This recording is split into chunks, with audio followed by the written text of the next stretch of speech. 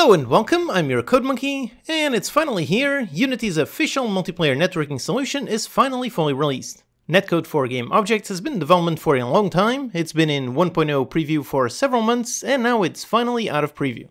Along with that, there's also some exciting news regarding multiplayer, which is dedicated servers, as well as matchmaking, and there's also a bunch of new awesome samples. So in this video, let's go through the news and see everything that just came out. And I'm also currently working on a really in-depth step-by-step tutorial to get started with multiplayer, so stay tuned for that tutorial next week. Okay, so multiplayer, it's finally here. The official name is Netcode for Game Objects. This is now Unity's official networking solution. It actually used to be called the MLAPI before Unity bought them a few years ago, so even though this is a new release, this has already been in development for a real long time, so it's already an extremely stable netcode stack. In fact, they actually spent the last 8 months just fixing up this 1.0 release, just making sure that everything was perfect before fully releasing to everyone.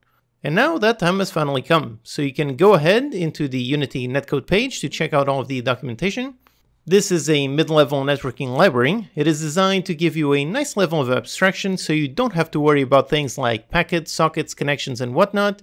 You just focus on actually building your multiplayer game. It easily lets you keep your game simulation synchronized with support for scene management, animations, physics, and several tools to diagnose problems. Netcode for Game Objects is primarily designed to support relatively small-scale co-op games, so think games along the lines of Overcooked, Among Us, Stardew Valley, Animal Crossing, and so on. It supports all of the latest LTS versions, so version 2020, 2021, and it works on all platforms, so mobile, PC, consoles, XR, and so on. The only exception is WebGL, since there's apparently some issues with accessing IP sockets, but there's also a workaround if you absolutely need WebGL. Along with netcode for game objects is Unity Transport, which is the default underlying transport layer. This is what actually manages the UDP connections to send and receive packets. So technically you could just use this, you could just use the transport layer to handle some non-game connections yourself. This is a really interesting topic that I very much would like to research. Just making some non-game-like applications with Unity and handling some multiplayer connections, that should be interesting. Or alternatively, you can also use whatever transport layer you want. Really this whole thing, netcode for game objects, all of the UGS tools and so on, all of it is built in a really nice modular way, so you can mix and match and use whatever tools you want, it's really awesome. If you can't wait for my video next week to get started, then go ahead and check out the official docs, they are super detailed, really easy to use. So if you want, go ahead and start learning for yourself. Along with the docs, another excellent learning tool are the awesome samples.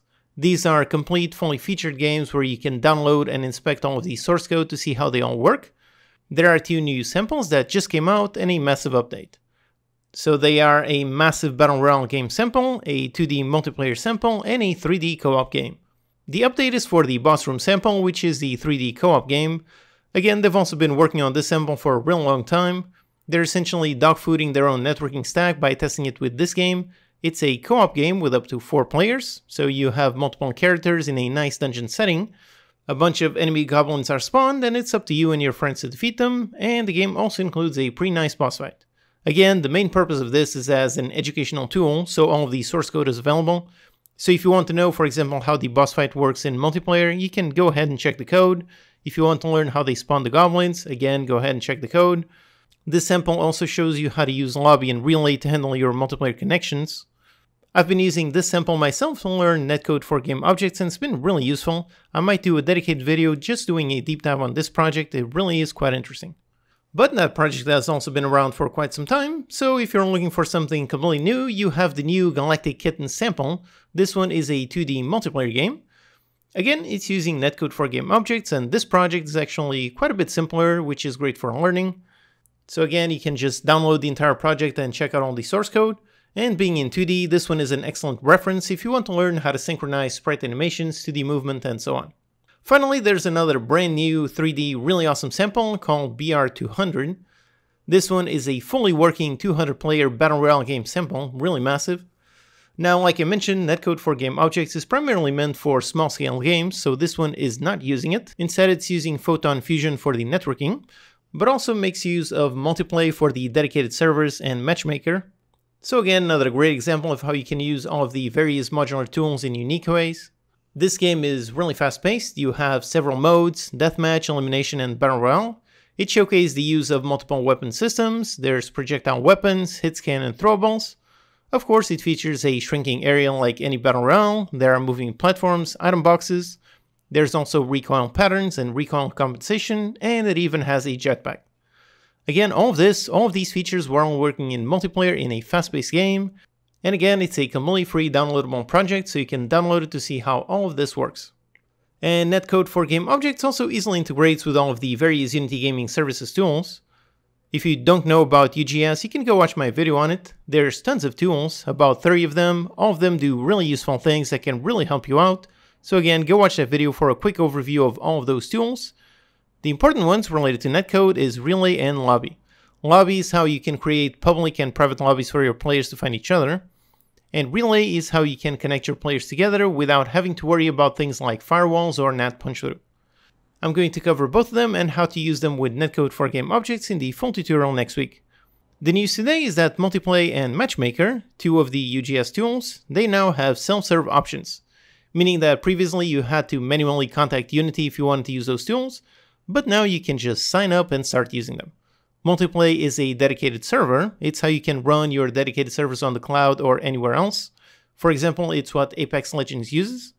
So based on that, if it can handle a massive game like Apex, it can certainly handle your game.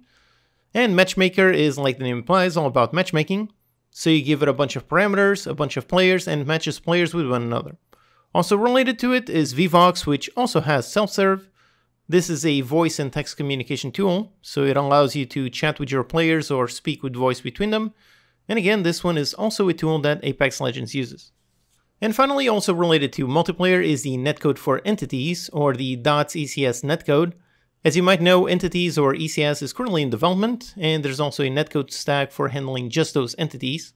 But just like with ECS itself, this one is still an experimental. The entities package is scheduled to come out of preview by early next year. The main goal with this netcode stack is that this one is being designed to handle massive games with a very large number of networked objects. Alright, so the wait is finally over, netcode for game objects is here, it's fully released and ready for you to use. So if you've ever wanted to make a nice multiplayer game, then now is the time. For me, I haven't done anything in multiplayer in many years, so I'm definitely looking forward to this. Like I said, I'm currently working on a really detailed step-by-step -step tutorial, so stay tuned for that video next week. And after that video, I have also got tons of multiplayer ideas that I'd love to explore, so let me know in the comments what sort of multiplayer topics you'd like to see me cover. Alright, hope that's useful, check out these videos to learn some more. Thanks to these awesome Patreon supporters for making these videos possible. Thank you for watching, and I'll see you next time.